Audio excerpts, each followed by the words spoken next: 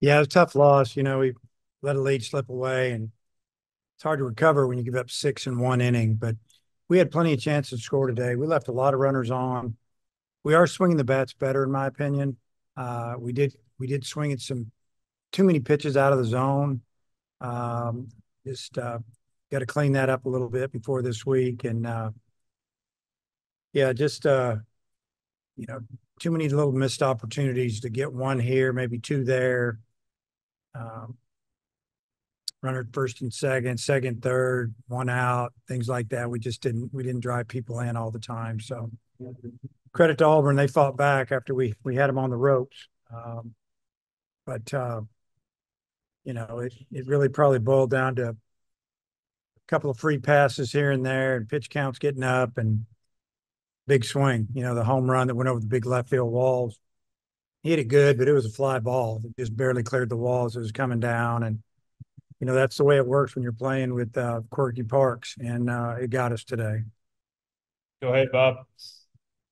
Yeah, Dave. Uh, you know, Cooper McMurray, he came in super hot, but you guys had really handled him those first two games. I think he had seven strikeouts, but he broke out today with a home run, a single. I think he was on base four times. Just what what you think about the way he responded after a couple pretty tough games? Yeah, he did a really good job. And you know, he had to get his hits off left-handed pitching today for the most part, and drove in four runs. Uh, the big swing was that three-run homer. Looked like we might get out of that inning with the one-run lead, and then uh, you know the fly ball blew out of the park all of a sudden we're down a couple. Uh, but he had a he had a good day. He was he was the difference for him. And, and then the bullpen's been so good. What did you see in the sixth inning? Obviously, you used three guys, and like you say, y'all, you, I guess you were at bat from getting out of it, and didn't didn't quite happen. What did you see from the bullpen there, and, and how unusual was that based on how they've performed this year? Just a couple of mistakes. You know, you, Cooper Dossett comes in, and man, he throws two really good pitches. counts one and two, and then uh, he threw it right down the middle, and the guy hit it out of the park and kind of shocked you a little bit. And then he he might have given up another hit. I don't remember exactly what happened, but he, he just didn't locate the finish. And uh, you know, I, I think Gaeckle, you know, he just he got behind the count, walked a couple of people. He hadn't been doing that. You know, he only threw a few pitches the other day. He's had a couple days to rest, and he was ready to go. It just uh, it just didn't happen for him today. So um, I thought Fisher came in, tough situation. He just, you know, gave up the fly ball. It turned into a three run homer and uh, kind of a tough luck pitcher uh, on that swing. But he, he, he gave us a chance to get back in it. You know, we came back in the next inning and had, uh, I don't know, runners at first and second, one out. Maybe we already had one run in and we didn't score. And, uh, you know that that was that was a chance for us to really you know maybe gut punch them a little bit after they score six and take the lead we at a minimum we should have tied it there and we didn't and uh, one big hit we're ahead so uh, typical game three got a little crazy I guess on a happier note, uh, you you became a grandfather. I know you're going back and forth. Just what was what was the this weekend like for you, and what's it like uh, having three grandkids all of a sudden? Well, it was a great weekend. Um, wasn't really step back and take a look at it. it was easy for me. Uh, my daughter had to carry three babies in her for a long time, and it's not fun, I'm sure. And I'm really proud of her. Uh, it was just back and forth on the plane a few times, and it was all worth it, though. It feels great. I'm glad they're here. Glad they're being taken care of, and uh, you know, looking forward to watching them grow up. Hey, thanks. I might have a couple more, but I'll turn it back to Oliver. Thanks, Dave. Okay. Ellis. Yeah, coach, you hadn't really had a ton of close games these last few weeks. So how good was it this weekend from an evaluation standpoint? Three straight back to back, tied to the end game, just to see what some of your pieces are made of a little bit.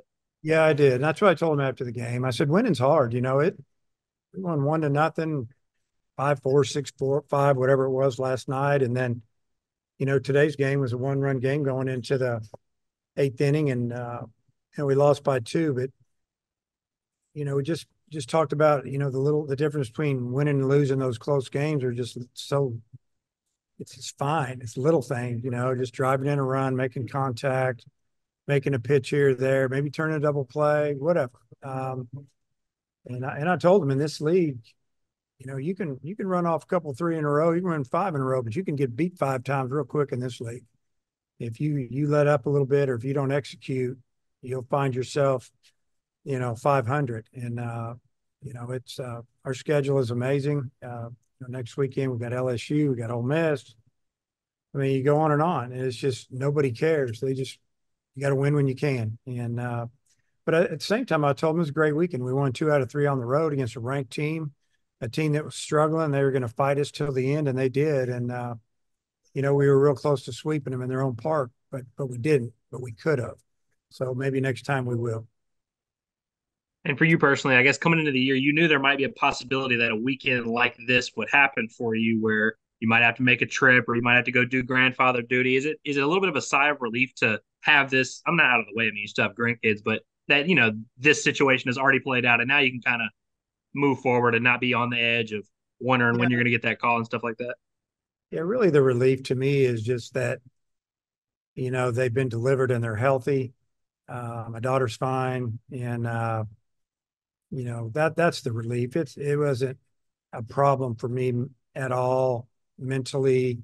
Um, just excited, like you know, like my wife is, and my other daughter, and relatives, and Jacob's family. So uh, you know, just happy every everything is good, um, and yeah, but yeah, it's uh, I'm excited about the future. Hush, go ahead. Hey Dave, uh, Molina looked really good those first three innings, and they kind of really had to battle those next two. Just what did you see out of him today? Yeah, the the fourth the fourth inning, you know, we we had a long at bat, and uh, you know, you figure he's going to be well rested. He hadn't thrown very many pitches, and you know that's the shutdown inning. It ended up being a shutdown inning, but had to work for it. You know, it might have been a walk or two that inning, and I think he got frustrated. He didn't get some close calls, and you know, usually that doesn't help. The umpire a lot of times will not give you those. They see you out there acting frustrated. Um, you know, I think it's a good learning experience, but uh, yeah, the fourth and fifth, you know, they just there's just way too many pitches thrown, too many wait wasted pitches. You know, not really close, and uh, you know, Auburn didn't have to work a couple of times to get base runners on. It was four four pitch walk and a five pitch walk and stuff like that. You know, and if we can clean that up, I mean we can get seven out of it because they don't hit him. I mean, they gave up a couple hits and, uh, you know, but he gave up four walks. They started hitting the ball hard there the last inning because he was behind in the count. And, uh, you know, just got to, we got to, we got to get better with that. But he's a really good pitcher, really hard to hit. Um, you know, the games are going to get better and tougher as we move on. So hopefully, uh, hopefully next weekend, he'll pitch next Saturday against LSU and, he can give us a few more quality innings. And Diggs had been, you know, hitless this weekend until you know getting the two big hits for you today. Just uh, what, how good was that to see him deliver in those spots? Yeah, it was good. You know, we uh, we need him. He's a tough out. Takes a lot of pitches, sometimes too many. Um, but this weekend, you know, it just seemed like he went out of the zone a little bit, and think he started pressing. But for him to get a couple of big hits, a couple of a double and a triple, uh, you know, it was big. And uh, like I said, we had a chance to score more, but we uh, we just didn't get we didn't get a few more hits down the road.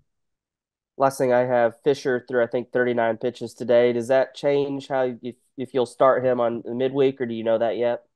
Yeah, we don't know that yet, but we I mean we have a plan, and uh, you know if he pitched today he's not ready to go Tuesday in any in any role, uh, then that's fine. Get him ready for the weekend. But uh, we've got some guys that are ready to go and that, that need to pitch. And, you know, we're going to do what we can to win that game on Tuesday. But uh, we got to get some guys on the mound. We got to get some guys from at bats and, you know, get ready for the weekend next weekend. Christina, Bob, last two questions, please. Yeah, Coach Ty Wilmsmeyer had a couple of really good plays there in the field, just with the diving catch, and then later when he actually dropped the ball and still got the out. Just what did you see from those two plays, and then what have you liked from him in the field so far? Well, he's a he's what I would call an above average or a plus defender in center. Uh, he's got an accurate arm. he showed that on that on that throw to third, and because he threw it over the cutoff man, but he was throwing to third, made a perfect throw, and uh, obviously we got the out there. Um, who knows what would have happened if we didn't, but, and then I also, you know, I've seen him run left and right, run down balls. Uh, that's why he's out there. It's a big center field here as well. Um, you know, the ball in center field, um, he got to it, but he didn't find the fence. And then, you know, he kind of ran into it right about the time he was catching the ball. Well, he's got to know where it's at. So, uh, there was a lot of good there and there was some bad. The good was he threw the runner out of third. The bad was he should have just caught the ball in the first place, but he knows that. Um, you know, we've got to do a better job when we get close to the fence. Bob, close it out. Yeah, Dave, uh, I know LSU's obviously, you know, coming in, but you have UALR first, and you've played them a few times. They've knocked you off a couple times. You're facing one of your old assistants and Chris. Just kind of how, how do you approach that game? And just how have you thought about, about how that series has gone since you you guys started playing? Well, you know, how I approach it, I mean, we're gonna, you know, we'll get back tomorrow will be a day off for our team uh, on Sunday, well deserved, and then we'll uh we'll have some work. We'll we'll do a little working out, maybe even some team workout on a Monday. And a lot of times you don't get to work out on Monday because you're playing on Sunday. Uh, but we'll, you know, see who's who's feeling good, and uh, we got a few things we got to go over as as a team, and then, you know, how we're going to work it. We're going to try to win the game. Obviously, um, I do need to in a few guys. Need to get some at bats. We've got we've got some good pitchers that need to pitch. We need to see if we need to add them to our roster uh, on the weekend. You know, we got some guys that uh, have good stuff that uh, in a couple of cases they're coming off rehab or they're coming off sickness and uh, you know maybe we're going to put them on the roster against LSU. It'd be good to see them pitch well on Tuesday. And then facing Chris, you know, he's a guy you're obviously familiar with, and th- thoughts on that. Some good games, you know. Um, they they beat us a couple three times, and we beat them a few times, and uh, you know they have a really good team this year. I think they're picked to win their league, and they're playing Morehead State this weekend. I knew they shut them out last night. I don't know what went on today, but uh, you know, if you're picked to win your league, you're you've got a veteran team, and that's what he has. He's he got experience, older kids, and uh, they're going to give us everything we can handle on Tuesday. Squeeze in one more. You, you alluded to it a little bit, but you're, you're five and one. I know when you win the first two, you want to sweep, but five and one, I think most coaches would take that to start off the SEC. Just kind of how do you feel where you are after two series? Well, I feel like we've learned a lot about our team, you know, as far as wins and losses. You know, if you play good, it usually takes care of itself. Uh, definitely feel good about having five wins out of six in, in this league. Uh, you know, I think that probably shouldn't be coaches if I wasn't disappointed that we got beat today. I am, but I'm still not. I'm not disappointed with the team or the effort. Uh, I think they've been playing hard, and and uh, we've still got a long way to, to go. We're going to grow and get better. Um, you know, and we're going to do it in league play because the competition in the SEC, it's uh, it's it's unforgiving, and uh, you know, like I told them today, we, you want to win in this league, you got to you got to do all the little things right, and you got to you got to you know you got to take advantage of some things, and we didn't do that today. But I feel great about being five and one. Six and zero would have been better, but hey, we're we're we're on our way. And just coming, I saw you broke your Twitter silence announcing your grandkids. So, you know, your like second that? tweet of the year. yeah, you know, every now and then I just decide to put that out there. And no, it's uh it's one of those things where, you know, I don't say a whole lot on Twitter because uh, you know, I only say something when I need to say something. And I felt like I needed to get something out because a lot of people comment, a lot of people uh, wondering, uh, didn't know what was going on, which I really, really appreciate that. And uh, I just wanted to make a little comment there. I'm going to let my daughter and her husband, you know, they they can have it from here. But uh, you know, I told them I was going to do that, just put that out and let everybody know that they arrived and we're all we're all super excited about it. Okay, thanks. You never say anything about it, but I appreciate it. I was just commenting. Appreciate the time.